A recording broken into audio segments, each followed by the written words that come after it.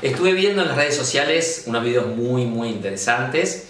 Hay uno que muestra bebés que gatean de manera graciosa, de manera diferente. E, estos bebés que gatean de una manera diferente no están gateando, se están desplazando de manera autónoma. En realidad la pauta madurativa no es el gateo, que ocurre aproximadamente entre los 8 y los 11 meses, sino que es el desplazamiento autónomo. Lo importante es que el bebé pueda desplazarse. Vamos a ver cómo hay chicos que gatean con una pierna adelante y la otra atrás, con la cola, dando saltitos. Si el pediatra lo revisó, anatómicamente está bien, los músculos están bien, las articulaciones están bien y neurológicamente está bien, no tenés que preocuparte. La pauta madurativa es el desplazamiento autónomo. Y si tu bebé se desplaza autónomamente, aunque no sea con el típico gateo, no tenés de qué preocuparte.